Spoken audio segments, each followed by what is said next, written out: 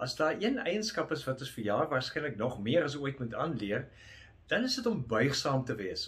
Om buigsaam te wees beteken om verandering te kan verwerk en dit op die bes moontlike manier te kan hanteer. En ons het almal al aanpassings gemaak.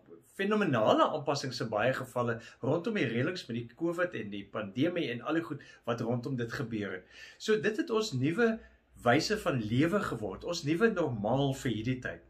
En natuurlik is daar tye waarin mense in opstand kom teen die ongerief van beperk en ingeperk wees. Natuurlik is daar tye waarin 'n mens uh hartseer is oor die lewensverlies en die verlies aan lewensonderhoud vir baie mense.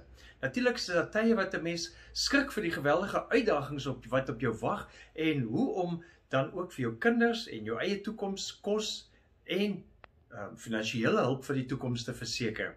Maar oor die algemeen moes ons almal maniere leer om hierdie situasie te verwerk en in die jaar wat kom sal teraard nog meer buigsaam moet wees. Ons is nie uniek daarin nie. Toe Paulus besluit om vir Jesus te volg, was dit deel van sy lewe wat hy moes ervaar. En hy skryf daaroor in Filippense 4 van vers 11 tot 12. Hy sê: Ek het geleer om my in alle omstandighede te behelp. Ek weet wat armoede is en ek weet wat oorvloed is.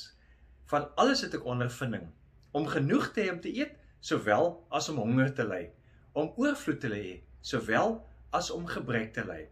Nou hy het natuurlik sy krag gevind om hierdie aanpassing vir buigsaamheid uh, te kan doen omdat hy sy krag in Christus gevind het. En die wonderlike daarvan is dat daardie krag ook vir ons beskikbaar is in Christus. Ons hoef net daarvan gebruik te maak en buigsaam te wees. Leef geïnspireerd.